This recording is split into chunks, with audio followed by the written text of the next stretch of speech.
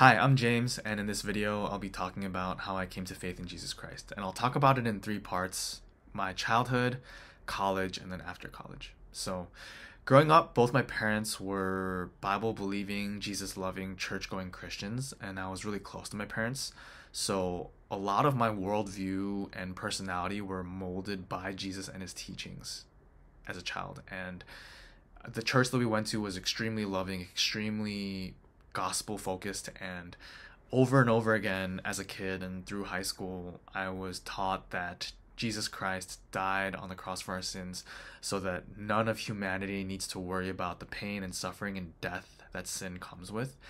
And so I just remember growing up always being grateful that I was part of a divine family and a church body and a loving personal relationship with a father that loved me even though I didn't deserve it. And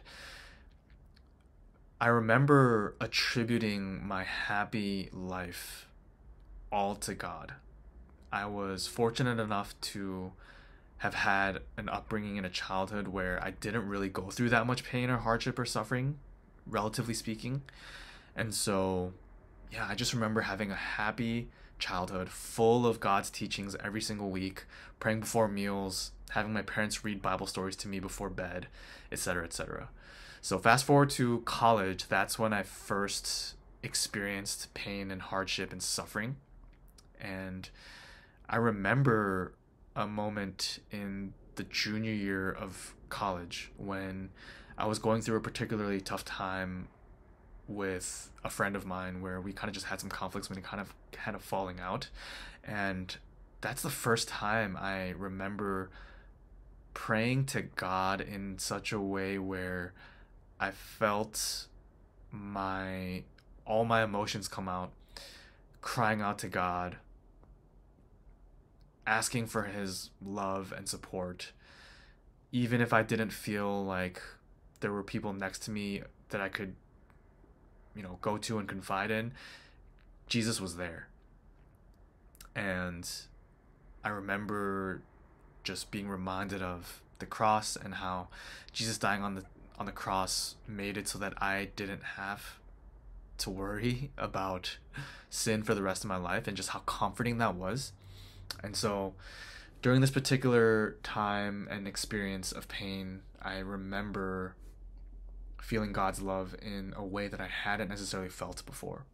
And so since that moment and to this day, my faith in Jesus Christ really became one that is beyond second nature to me. And it's something where I'm fully in belief that Jesus looks over me every second of every day. He always has and he always will.